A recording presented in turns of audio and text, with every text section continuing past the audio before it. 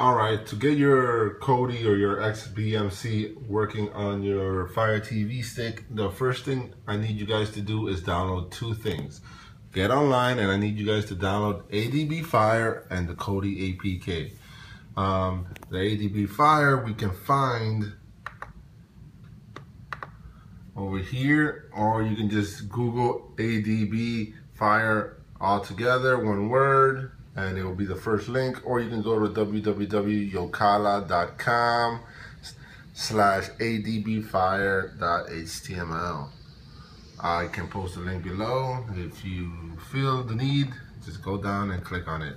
Second thing I need you to do is go to kodi.tv again that's kodi.tv and we're going to be clicking on the downloads tab from here, we're gonna download a stable release of the Android AMR. So you click on this and it'll start downloading.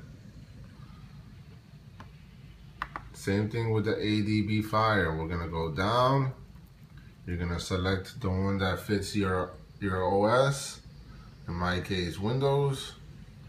And it'll start downloading.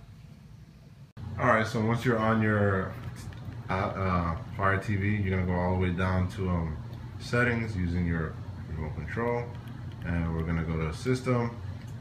We're gonna go to about, and we're going to go to network. On your network, you're gonna log in your IP address. So save your IP address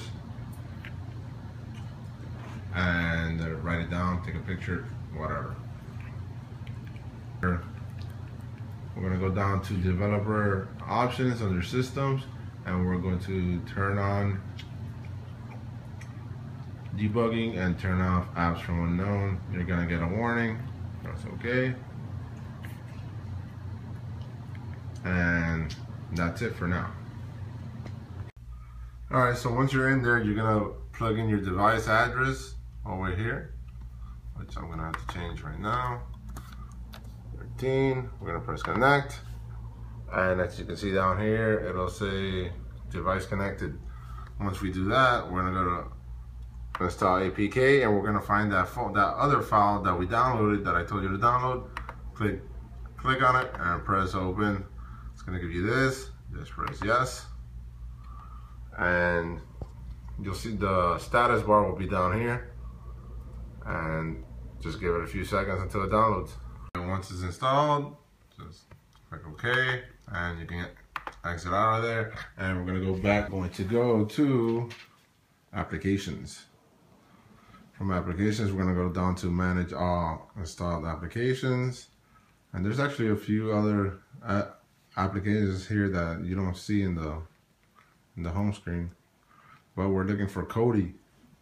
So click Kodi, click launch app, and there we have it. We have Kodi or XBMC, as it formerly known as, or whatever. All right, so.